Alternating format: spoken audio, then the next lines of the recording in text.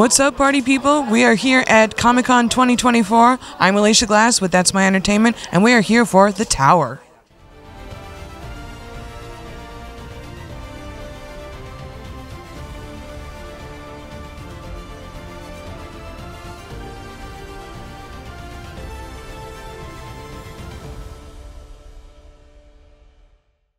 And here we're here with Jack. Please tell us about your character. Hello. Um, I play a young man named Billy Owens. He's from Arkansas, and um, you know he's never seen a mermaid before, so he's uh, he falls in love with one, and um, yeah, yeah. What led you to uh, be interested in playing this character? Right. Well, um, our director Adam approached me for the role. Um, I read it and I'm really connected with Billy, my character, because he's kind of an outcast. He's a little bit of a goth, and um, A bit like you in real life, a bit like me in real life. Nice. Definitely like a lot like me in high school. And um, and yeah, I just hadn't seen uh, this kind of genre c- crossover, like independent Americana, like with the whole like sci-fi element. So I thought it was interesting. Can you perhaps tease something a bit surprising about your character?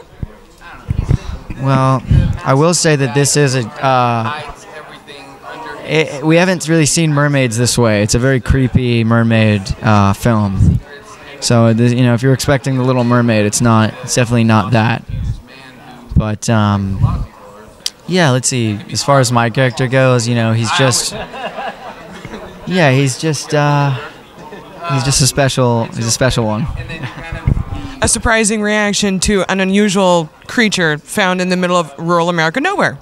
Thank you very much. What's up, everybody? We're here for Mermaids, Mysteries, and Mayhem with the Tower. And you are Cam, aren't you? I am. I just have to tell you, I watched Easy A the other day. Oh, thank you. That was a that was a fun little movie. It surely was. So please tell us about your character. Um, For the Tower, that is. the tower.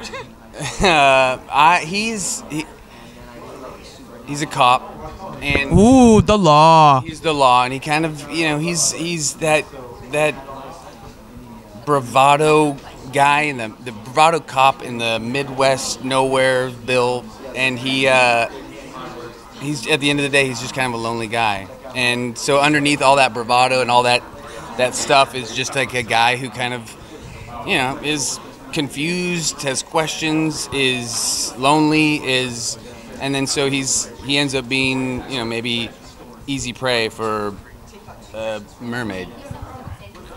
Well, no real experience with any kind of supernatural creature of any kind. Well, n- no, no, not really. I don't. Can you perhaps tease a bit about uh, your character's initial reaction and later on reaction to the mermaid? Oh, I think he is he is being led by his other brain head. That's not right. Let's cut that. But he, he's No, no, no. Let's leave it in. leave that in. Yeah, he's not he's not being led by his smarter, you know. I don't know how to say that. There's, there's, there's no way to say that gracefully. That's fine. We get what you mean. good. I What would you say was the most difficult part about filming your character? Um. Oh wow. Uh. No, there wasn't really. I mean, it. I, I think the character was was not. He was so far removed from who I was, where it was like I could just kind of fall into it, and and it was. Yeah, there wasn't anything that was really too challenging. I was actually the hardest parts were like when uh, Jack and I would get closer it, I don't know. There was just a, a bond that we had where it was you just kind of felt free. So there was nothing really that hard. I mean, dealing with him, but you know, what are you gonna do? Can you tease about something surprising, maybe for a, a journey for your character, the end towards it? Um, uh, karma's a bitch. Nice. Thank you very much. And we are here with. Adam Sigal. I'm the director. That's awesome. So please tell, talk to us a bit about the movie, of course, but the, the challenges you face when uh, filming an independent film. How long do you have? There's definitely a lot of challenges with independent films. Um, Approximately three minutes. Perfect. I mean, there were a lot of practical challenges with this one, just mostly being that, you know, we are filming a mermaid movie in a water tower, and so we built the water tower. Speaking of practical challenges, talking about uh, practical effects versus CGI. There was no CGI. I mean, we did it practical tail. You're practical talking my jam. Yeah, that's always. I mean, there will be some augmented things, but it was all practical. The tail, the tank, all that stuff. It's definitely. That's fantastic, y'all. Yeah, yeah. That's independent filmmaking. I mean, that's kind of the way I like to do it. So, yeah. Can you tease a bit about uh, some surprising things besides the actual mermaid? Ah, the ending's pretty cool. Um, kind of what happens and and what happens to the town, and it's sort of mermaid versus small town. It's kind of cool. Ooh, versus. Yeah. Versus is good. Yeah. Exactly. It sounds like the mermaid has reason to be a bit She's a little. chuffed. She's a bit disgruntled. Yes. Yes. Yeah. Well, thank you very much, and we look forward to seeing your movie. I appreciate it. Thank you. Thank you. What's up, everybody? We're here for The Tower. Murder, mysteries, mermaids, mayhem, everything. what can you tell us about um, what makes The Tower unique? Well, it's. I think you say mermaid picture, you think fun, happy, cute mermaid. This is quite a bleak little number.